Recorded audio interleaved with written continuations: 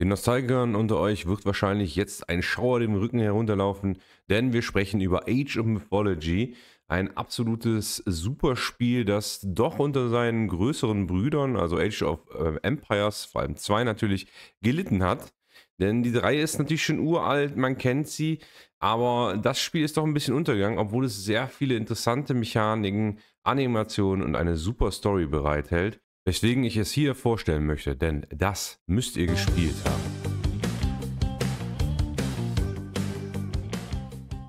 Theris, it has been a long time since you sent him to the underworld, Arcantos. Fighting old battles again? Yes, old enemies. I still see them here. Bei allen, die natürlich nicht jetzt unbedingt diesen Nostalgie-Flash haben, will ich jetzt auch nicht im Dunkeln tappen lassen, denn dieses Spiel ist ein Echtzeitstrategiespiel ganz im Sinne von Age of Empires, ähm, das eine super Geschichte hat und eben den besonderen Touch hat, dass wir in einem Fantasy-Universum uns bewegen, das auf der griechischen Mythologie basiert und damit natürlich auch ganz viele Einheiten, ganz viele Monster einbaut, die es bei Age of Empires 2 und so weiter gar nicht geben kann.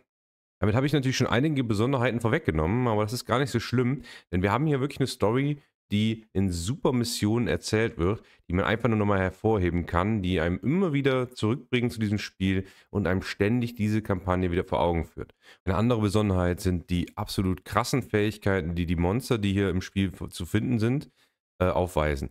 Ihr habt wirklich alle möglichen Animationen, wie zum Beispiel eine Einheit eine andere durch die Gegend schleudert, wie jemand versteinert wird, wie jemand vergoldet wird und so weiter und so fort. Ihr habt Gebäude, die ganz besondere Gimmick-Mechaniken oder auch gute Mechaniken einbauen und ihr habt eine große Variation in den Völkern, die ihr spielen könnt, was das wirklich zu einem absoluten Rundumpaket macht und mich, und ja, ihr könnt mich steigen dafür, tatsächlich zu einem größeren Fan von Age of Mythology macht als von Age of Empires 2.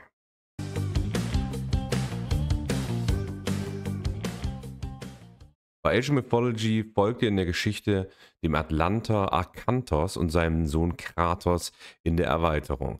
Akantos ist ein typischer Heroe aus der griechischen Mythologie, so wie es schon etwas wie Herkules, Odysseus und so weiter waren oder sind. Und wir treffen tatsächlich auch so etwas oder solche Leute wie zum Beispiel Odysseus selber innerhalb der Geschichte. Wir werden auch im Trojas Kampf mitkämpfen, wir werden den Hades besuchen und wir werden uns in verschiedene andere Mythologien ergeben, denn nicht nur die griechische Mythologie ist hier vertreten. Fans von ägyptischer Mythologie oder nordischer Mythologie werden hier genauso zufriedengestellt wie eben die Fans von griechischer Mythologie. Ihr findet da verschiedene Anspielungen auf alle möglichen Ereignisse, die in der Mythologie besprochen werden. Bei den Griechen die Titanen, der Kampf mit den Göttern, wie Zeus seinen eigenen Vater einsperrt und gegen die Titanen mit den Menschen, so wie ihr es hier auch im Upscaled-Intro sehen könnt, äh, kämpft, um die Titanen wirklich im Tartarus einzusperren und endgültig zu versiegeln. Das ist natürlich super interessant und das geht in Ägypten genauso weiter, denn das Spiel macht das genial, dass die Übergänge zwischen den Kampagnen fließend sind. So suchen wir in Ägypten die Körperteile von Osiris, finden in den Norden die Trolle und erfahren etwas über die Zwerge und Ragnarok und gehen da alle so ein paar Brocken von Geschichte durch. Natürlich alles recht, ja, ich sag mal, leicht serviert. Also ihr habt jetzt da nicht irgendwie total tiefe, verwurzelte Geschichte. Ich persönlich fände das auch super, aber ihr habt es halt so leicht serviert und auch so schmackhaft gemacht, dass ich zum Beispiel auch als Kind damals das immer genial fand und da mir so viele Sachen auch gemerkt habe und so viel lernen konnte, dass mich das zusätzlich noch beeindruckt hat.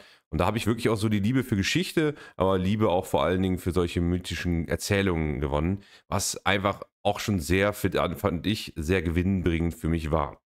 Umso toller ist es natürlich, dass ich dieses Video im Rahmen natürlich auch mache, dass bald ein Age of Mythology Retold kommen soll, dass die Grafik nochmal komplett upgraden soll und das wirklich auch neue Features bringen soll. Ja, ich bin natürlich schon froh. Ne? Das sind die meisten, glaube ich, die das Spiel sehr gerne gespielt haben. Kann aber auch sagen, dass ich sehr skeptisch bin, weil wir haben auch hier eine Extended Edition, die ich hier zeige. Und ein paar Clips jetzt einfach mal aus den ersten Troja-Missionen. Wir haben da auch eine Erweiterung, die in den chinesischen Raum geht und die ist ehrlich gesagt nicht so gut angekommen und ist halt einfach auch nicht so gut. Was bedeutet, dass ich die Hoffnung jetzt nicht zu hoch setze. Trotzdem wäre es natürlich für mich und ich glaube für viele von euch, die jetzt auch dieses Video schauen, aber auch natürlich für die Neulinge, wäre es halt die Chance, dieses tolle Spiel nochmal zu erleben, diese tollen Einheiten, die schon damals vom Animationsfeuerwerk und von den Fähigkeiten, die sie hatten, beeindruckend waren, einfach mal kennenzulernen, das mal zu, mitzuerleben. Ich hoffe auch, dass sie die Akanto-Story dann so mitnehmen und wenn sie was Neues machen, dann bitte auch ein bisschen Polish da reinbringen. Aber schon allein das im neuen Gewand zu sehen, solange sich da jetzt keine großen Bugs oder Neuerungen finden, die einen wirklich nur auf die Nerven gehen, wäre das natürlich eine absolute Erleuchtung. Na, ich sehe auf jeden Fall die Kampagne von dem Add-on, die bei der Extended Edition rauskommt, mit diesem Teil des Videos abgehakt. Wie gesagt, ich freue mich auf die neue Version, bin aber immer noch skeptisch. Ich denke aber gerade für die Neuspieler würde ich euch empfehlen, hier einfach mal loszulegen, mal das Spiel zu spielen. Auch nach den x, x Jahren, die das Spiel schon raus ist, werdet ihr noch immer viel, viel Spaß haben. Die Controls sind in Ordnung, ihr habt Shift-Befehle schon da. Ihr habt ähm, generell ein sehr gutes Interface, halt wie bei Age of Empires auch. Ne? Das heißt nicht, dass ihr das anders spielen könnt oder schlechter spielen könnt. Es ist ja sogar ein bisschen neuer als Age of Empires 2. Und damit hat es natürlich nochmal Komfortfunktionen, die bei Age of Empires 2 in der Originalversion nicht dabei waren. Also von daher ist es da ein guter Einstieg und man kann es auch jetzt nochmal sehr gut spielen. Grafik ist auch okay gealtert in meinen Augen. Und mit den neuen könnt ihr dann, wenn ihr das hier mal ein bisschen Geschmack gefunden habt, günstiger bekommen habt, da mal richtig reinstarten. Kriegt man, glaube ich, auch über den Xbox Game Pass. Wann es genau rauskommt, weiß man aber, glaube ich, noch gar nicht. Aber gehen wir lieber ein bisschen mal ins Fleisch des Spiels. Ihr habt verschiedene Fraktionen. Erstmal mit dem Originalspiel. Und ich nehme jetzt, wie gesagt, das DLC vom Extended Edition nicht dazu. Also im Originalspiel habt ihr drei. Das sind halt die Griechen, die Ägypter und die Nordmänner. Und dann habt ihr noch die Atlanter mit dem DLC, wo ihr auch nochmal eine extra Kampagne dazu kommt, äh, bekommt und den Sohn von Akanthos halt als Hauptfigur habt.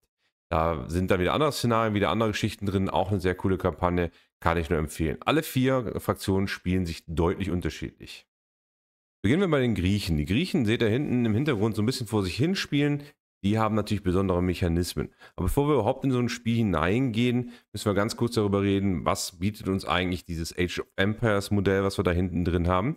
Ihr habt verschiedene Hauptgötter. Diese Hauptgötter kommen mit einem Set von Untergöttern, die ihr in den verschiedenen Zeitaltern, die ihr natürlich wie bei Age of Empires Classic, äh, klassisch natürlich anwählen könnt. Und da unterscheiden sich die Haupthelden schon in ihrer Grundfähigkeit. Jeder Held hat so eine Spezialfähigkeit, die ich einmal anwenden kann im Spiel und die Untergötter haben das ähnlich. Außerdem habe ich immer besondere mythische Einheiten, die jeder Gott mitbringt und manche haben auch zwei mythische Einheiten, manche haben zum Beispiel Wassereinheiten und eine Landeinheit und jede von diesen Einheiten hat wiederum spezielle Fähigkeiten.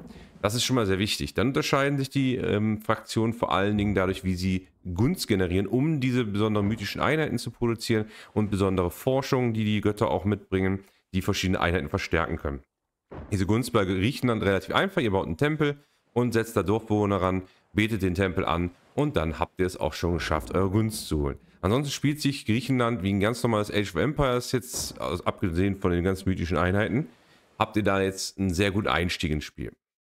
Bei den Nordmännern hingegen sieht das anders aus. Ihr seht hier ein kleines Video hinten, das könnt ihr auch immer im Spiel abspielen, damit ihr die Information nochmal bekommt. Aber ich filter sie jetzt einfach mal auch für euch nochmal raus. Ihr habt nämlich hier keine normalen Lager wie jetzt bei Age of Empires, sondern eben diese Ochsenkarren, die tatsächlich als mobiles Lager dienen, was eine ziemlich interessante Fähigkeit ist. Außerdem, und das ist immer das Interessante bei den Wikingern oder den Nordmännern gewesen, ihr müsst kämpfen, damit ihr Gunst gewinnt und äh, mythische Einheiten und die Forschungen holt. Das heißt, am Anfang konnte man auch durchaus mal über die Map laufen und mal arme, unschuldige Rehe umklatschen, um so die ersten paar Punkte Gunst zu bekommen, seine erste mythische Einheit zu bauen oder eine wichtige Forschung zu setzen. Und dann kommt noch was hinzu, und zwar seht ihr es gerade im Hintergrund, die Kampfeinheiten müssen oder sind die Bauarbeiter hier im Spiel. Die ähm, Dorfbewohner an sich können nicht sehr viel bauen außer Farmen, ja, und die können halt Ressourcen sammeln.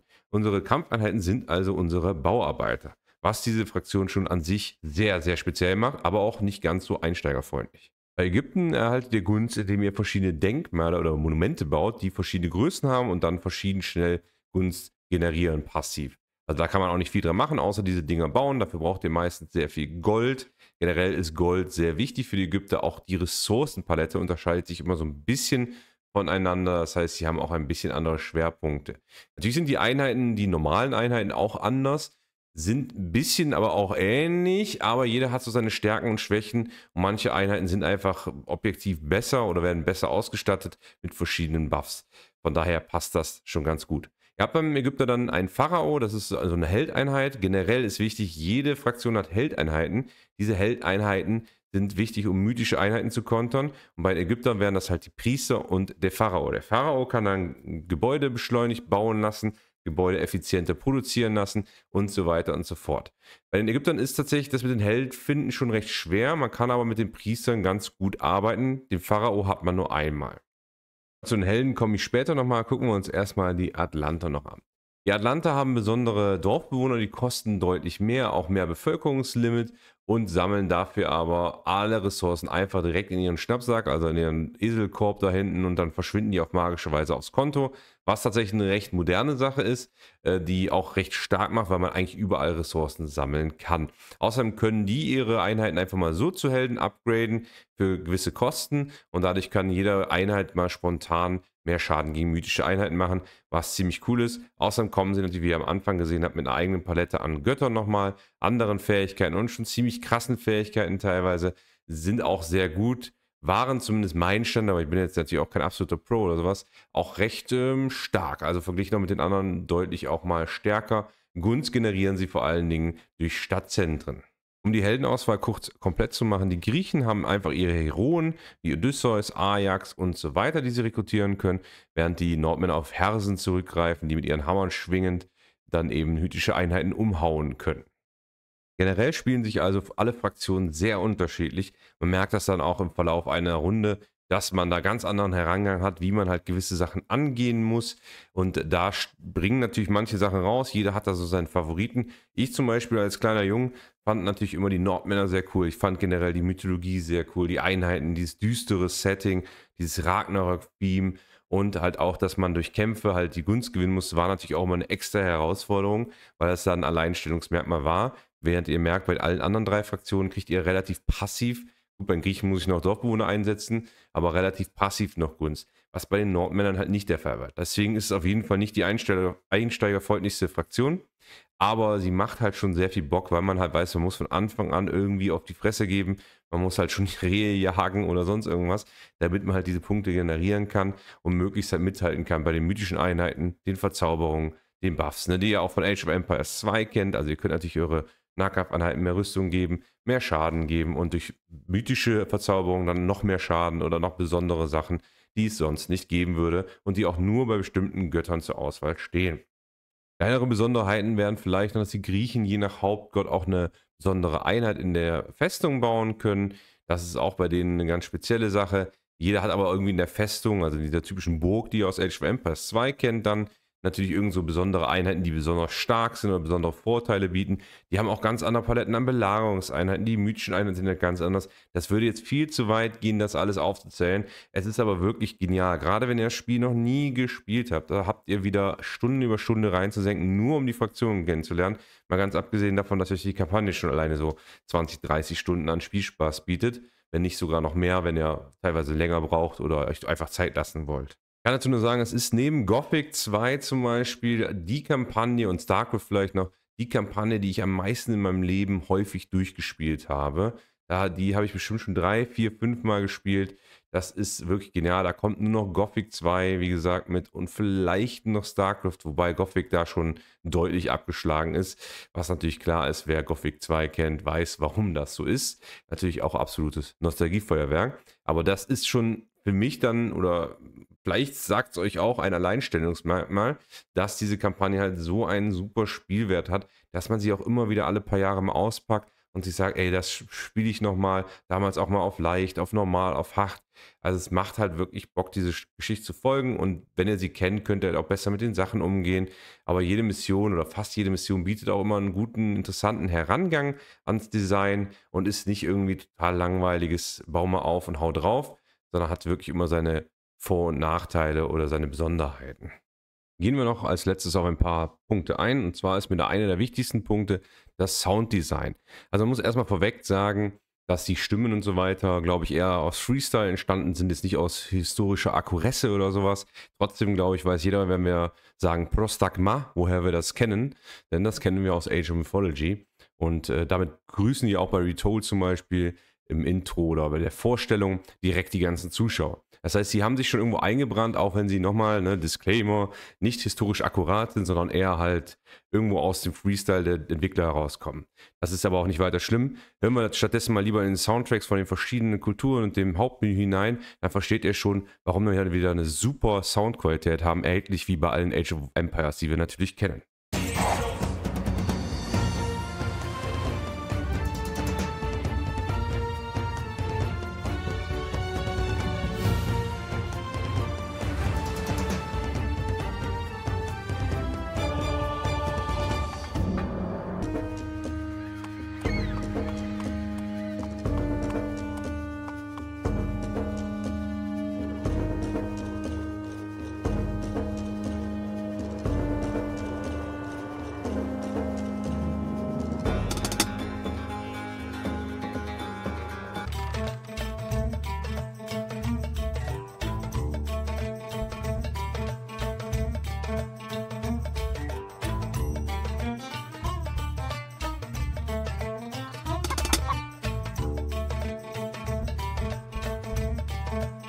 NGO in ito ay in which tayo? Skobos must. Eschloss Yuji Osto. Yuji Yuji Mak. Skopo Eschloss Osto. Bure. Mos Intam Herjos Eschloss Yuji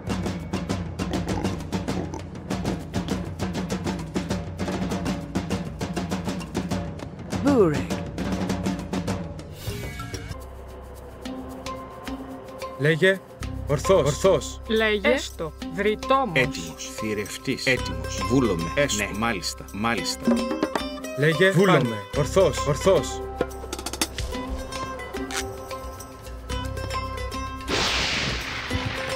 Έτοιμος. Παν. Βούλομε. Παν. Βούλομε. Παν. Έτοιμη. Λέγε. Πρόσεχε. Finde, man erkennt ganz klar, dass die Soundqualität äh, top-notch ist, gerade wenn man denkt, wie alt dieses Spiel ist und wie sehr diese Tracks einen mitnehmen. Also, weil ich dieses Ägypter-Theme zum Beispiel höre, weiß ich sofort, das ist doch Age of Mythology. Ich weiß natürlich bei den Begriffen von manchen Einheiten, wie gesagt, auch wenn sie nicht authentisch sind, sofort, ey, das ist aus Age of Age of Mythology, das sind die und die Einheiten oder das sind die Aussagen.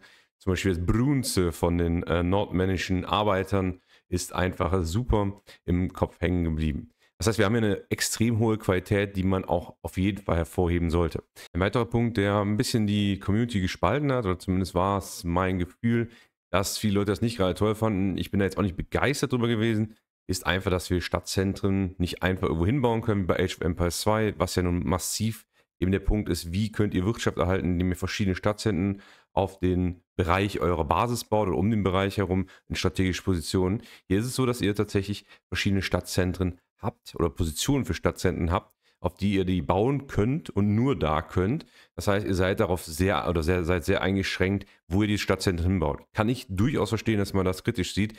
Ist nicht die beste Änderung gewesen.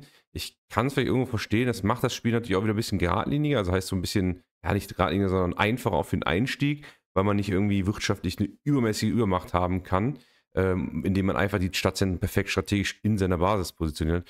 Aber so richtig verstehen kann man es jetzt vielleicht nicht und ich, da kann ich Dick auch verstehen.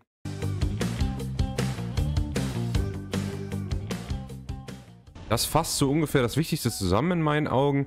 Ich hoffe, ich konnte euch verdeutlichen, warum das ein Spiel ist, das ihr unbedingt gespielt haben müsst, wenn ihr euch für Strategiespiele und natürlich besonders Echtzeitstrategiespiele interessiert und auch sehr gute Stories. Ihr könnt mir mal eure Meinung sagen, wenn ihr das Spiel schon kanntet. Was sagt ihr zum Retold? Freut euch darüber? Seid ein bisschen skeptisch? Seht es generell als positiv an, das Spiel nochmal neu spielen zu können? Werdet ihr euch auch nochmal die alte Kampagne anschauen? Und die neuen Spieler Probiert diese Kampagne aus, spielt dieses Spiel mal, seht über die Grafiken hinweg, guckt euch an, was die Animationen bieten, was die Fähigkeiten bieten. Dieses Spiel bietet euch wirklich, wirklich viel und vor allem, wenn ihr die Age of Empires Spiele gemocht habt, werdet ihr hier zu Hause sein, ihr werdet das Interface kennen, ihr werdet dann nicht irgendwie überfordert sein und ihr erlebt halt eine super Story, in der ihr deutlich unterschiedliche Fraktionen kennenlernt, die euch immer wieder neu begeistern können.